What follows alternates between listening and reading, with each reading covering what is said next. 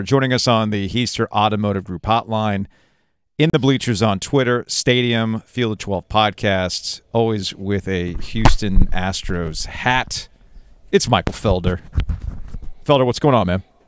Nothing, man. Listen, we're getting close to Christmas. I am hosting a gingerbread um, situation here. So, what is, excuse me, a gingerbread situation? Was Yeah. this Jersey Shore? What are, you, what are we talking about here? we got we got gingerbread houses going up, but they're all Jurassic World. So we're doing Jurassic World gingerbread houses, and we're doing ninja bread, which are ninjas that the kids get to decorate with the cream and the frosting and the whole deal. When can we come over?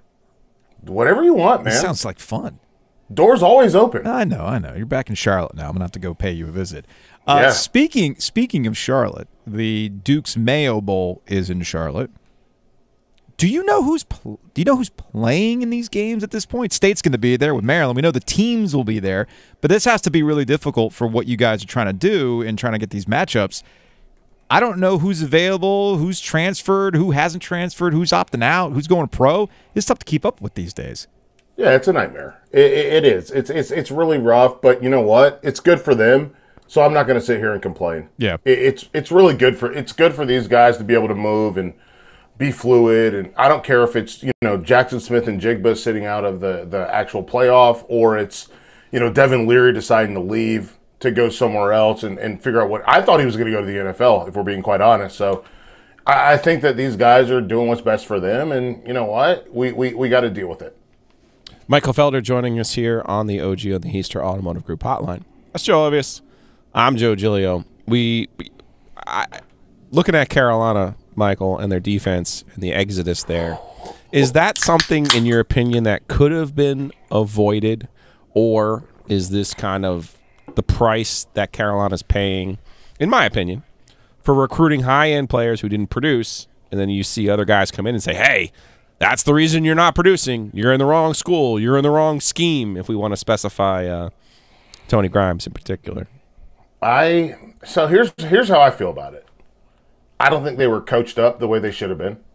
I don't think that they were taught to do things the way they should have been. I think this would never happen if it was Butch Davis there, right? okay, If Butch was there, he would let them know, "Hey, maybe you're not going to get on the field immediately, but you know what's going to happen? We're going to get you to where you need to be."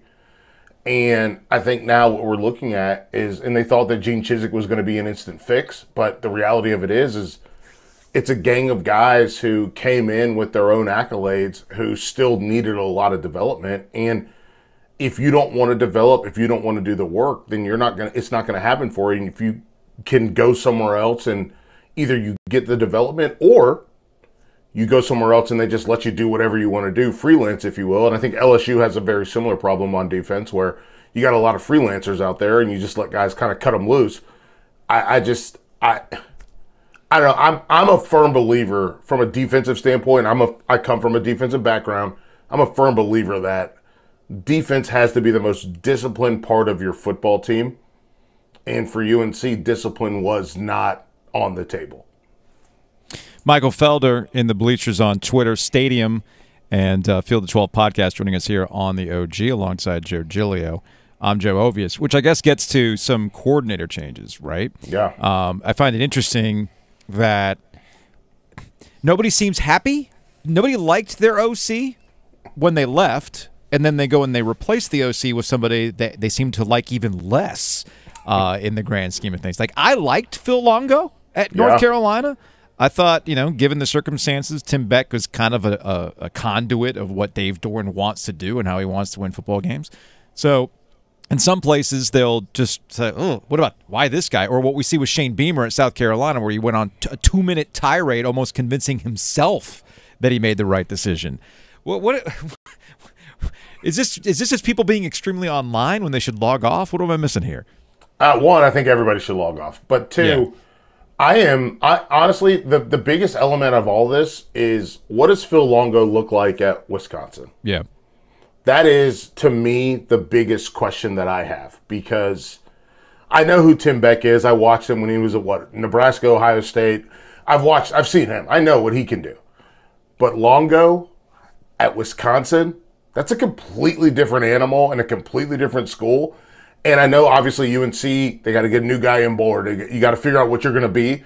But I'm more interested in Longo at, at Wisconsin and, and, and working for Fickell because that is, it's a job that has very specific parameters.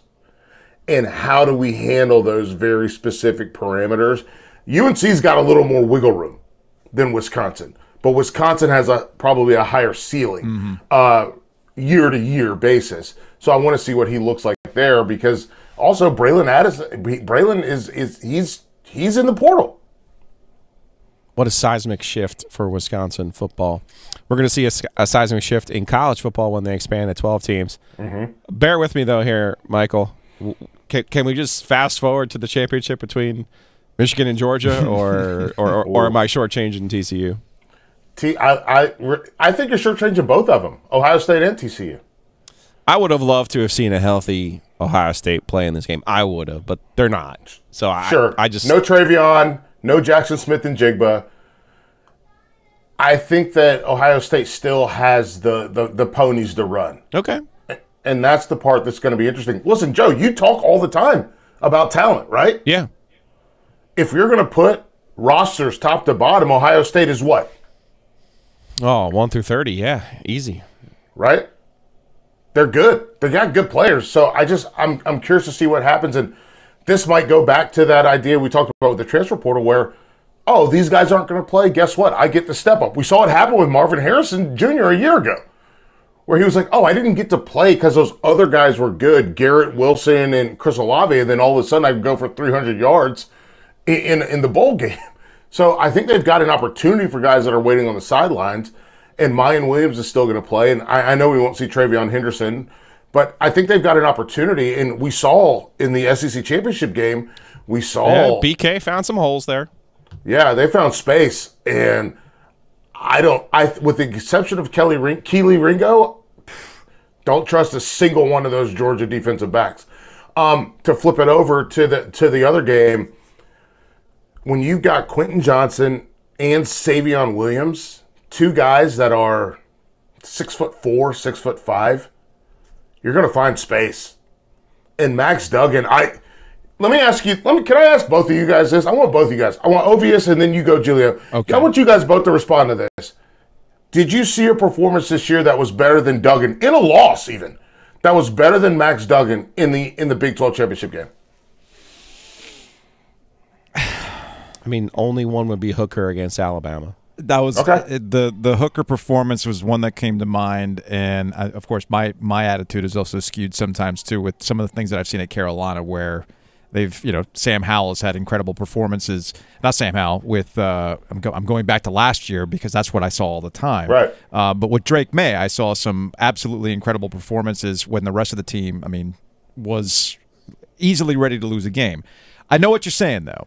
And Yeah. going into the and, and that's why I think the college football playoff expanding to 12 is not as this foregone conclusion that people make it want make it out to be. Because you're going to get performances like this. If you see shocking situations in regular season finales or you see in championship games who's to say these things still won't happen in the early matchups in the college football playoffs? So let's let these things play out.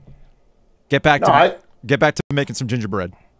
I, I dig it. I just I think that I think in the 12 team playoff, folks are going to be hyper focused and they're, they're going to smash it. So we'll see what happens. Ah, we'll see. We'll see. Felder, we'll talk to you later, man. Appreciate it. All right.